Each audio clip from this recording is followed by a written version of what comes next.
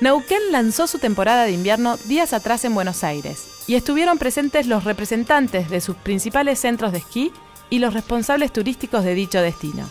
La provincia cuenta con una oferta hotelera que alcanza las 23.000 plazas, brinda 82 pistas y 41 medios de elevación en los que respecta al esquí, y este año suma una aumentada conectividad aérea.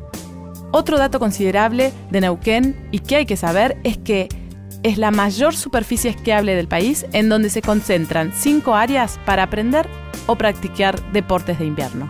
La ministra de Turismo de Neuquén, Marisa Focarazo, compartió algunas de las propuestas de esta temporada. Nuestra expectativa con este lanzamiento es invitar, que, incrementar la cantidad de turistas que vinieron en el 2017 e invitar nuestro mercado de Capital Federal y Gran Buenos Aires a que disfruten de Neuquén. Neuquén tiene la mayor extensión de pistas esquiables del país.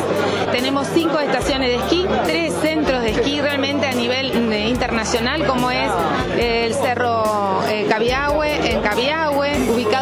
ladera del volcán, donde uno puede hacer esquí y termas.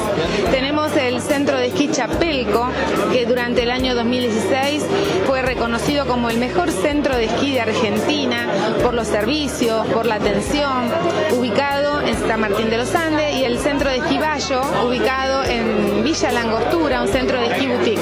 Y dos parques de son el Parque de Batea Maguida en Villa Pegüeña, administrado por una comunidad mapuche, y Primeros Pinos, que está ubicado muy cerca de Zapala, donde todos los neuquinos hemos ido a aprender a esquiar y a tirarnos en culipatín. Las primeras nieves no se han hecho esperar y tanto el Cerro Cabiahue, con su pintoresca villa de montaña, como el Parque Primeros Pinos ya están abiertos y funcionando. Dentro de muy pocos días se sumarán los cerros Chapelco y Bayo, mientras que el Parque de Nieve Batea Mahuida, que administra la comunidad Mapuche Puel, estará listo en dos semanas.